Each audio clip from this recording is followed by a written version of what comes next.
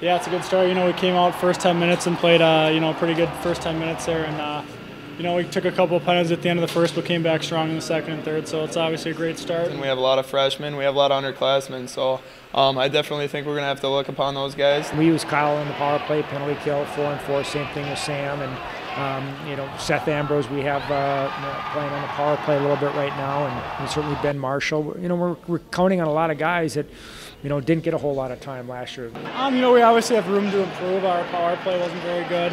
Um, you know, just little things. The neutral zone forecheck wasn't, you know, wasn't great.